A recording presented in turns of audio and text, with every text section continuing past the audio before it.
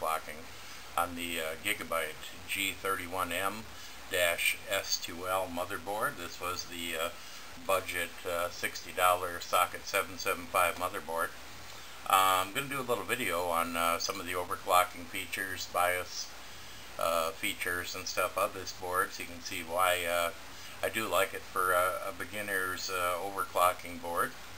As you can see, we have the board in here right now. Um, I have this overclocked at the moment. This is my one of my Q9300s, 2.5 gigahertz. And uh, we currently have this overclocked at 3.25 gigahertz, just using uh, basic settings in the BIOS.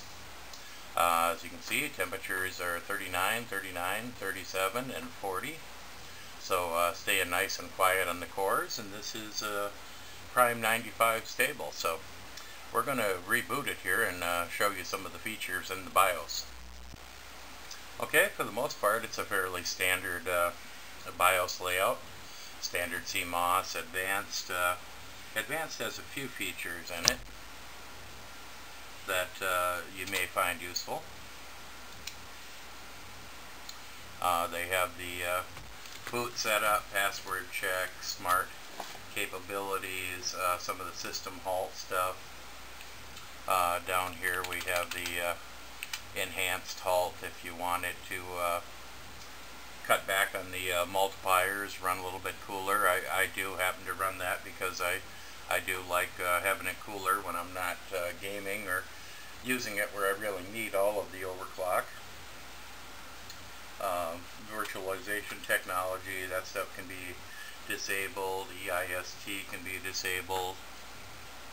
Basically I just run the uh, CPU thermal monitor on, CPU enhanced halt on, um, that's your choice whether you want to do it or not. Uh, no execute memory protect, that I have enabled also. Otherwise all the rest of the enhancements are, are turned off and uh, you can just set up your initial display adapter which either has the uh, PCI or you can use the onboard graphics or PEG is for your uh, PCI Express slot. Uh, integrated per peripherals. Uh, it's all pretty standard stuff here. Uh, primary ID, on-chip, secondary. Um, nothing too fancy as far as overclocking there. Power management, basically the same thing, or if you wanted to uh, power off power on. Um, basically all of our overclocking stuff is going to be right down here in your motherboard intelligence tweaker or MIT as it's referred to. Okay, up here you can see the robust graphic of booster. Can be set to auto, can be set to fast or turbo. Uh, CPU clock ratio, it's going to read your uh, clocks on your processor. Like in my case, this one has a 7.5 multiplier this one comes up with a full clock of 7, but then it lets me fine tune and add that half clock here to give me my 7.5. Uh, CPU host clock enabled. If you disable this, it's going to set everything back to stock. It's going to put your uh, stock speed in, stock multiplier, stock frontside bus 333 on this processor. But if we enable that, now it's going to let us go down here and change whatever number we want um, for our front side bus. In this case I'm using 433 for the 3.25. Um, basically everything else is going to stay standard. PCI Express frequency, we're going to leave that on auto. Performance enhanced, standard is best, it's most stable. But it also offers a turbo and extreme if you want to play around with them and try to get more juice out of it. Uh, system memory multiplier, this one I get a lot of questions on. Uh, it has an auto setting which will automatically overclock it. The 800 here is my standard speed. Uh, on auto it would run it at 1000, 1039. If I put a 1.6 multiplier it'll drop it all the way down to 693 if I wanted to do underclock it.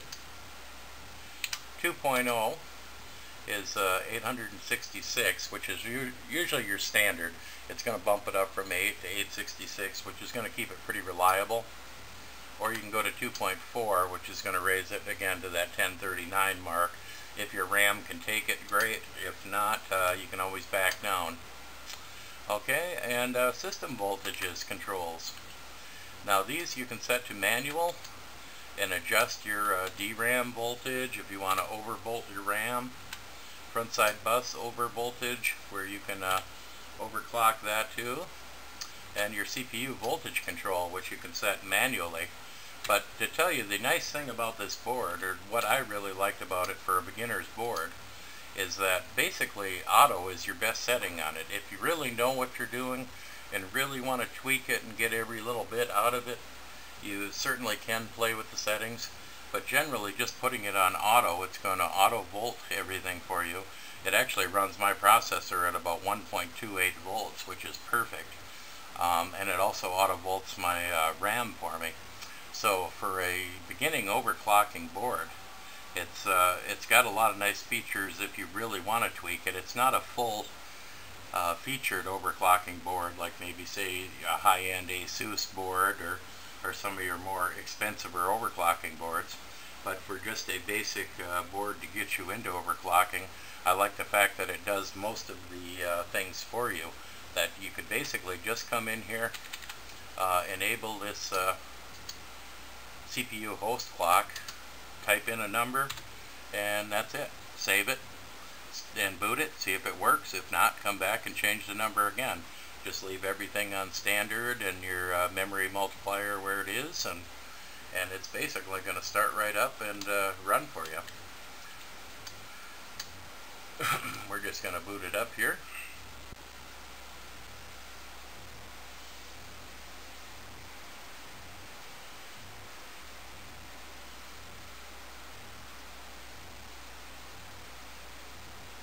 As you can see, we're running Windows 7 Ultimate on this one.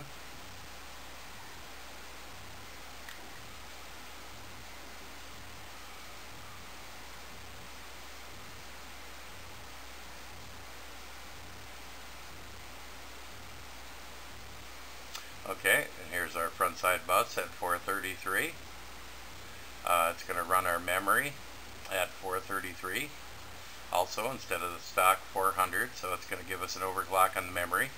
Another interesting feature is when you leave the uh, RAM on auto it's going to auto change your clocks for you so it's going to loosen up your timings to make sure it's more stable. This is uh, G-Skill DDR2 800.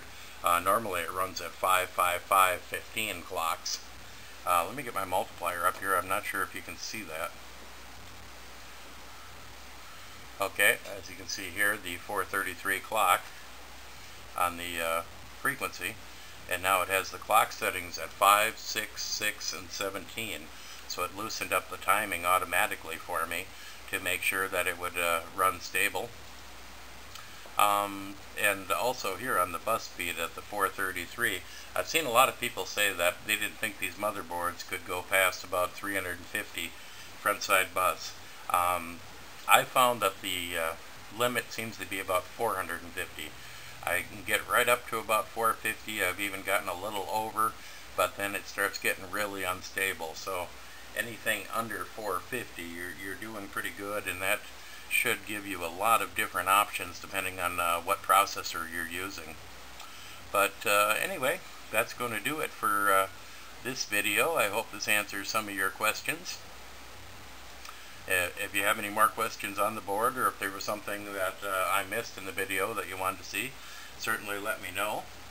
But uh, this, I still recommend this board. It's a great intro board for somebody just getting into overclocking that doesn't want to mess around with a lot of features, a lot of different stuff with your timings on your RAM, uh, a lot of tweaking on the voltage. Uh, it does a lot of that for you and it's a great way to get a uh, nice little overclock on a budget board. So thank you for watching.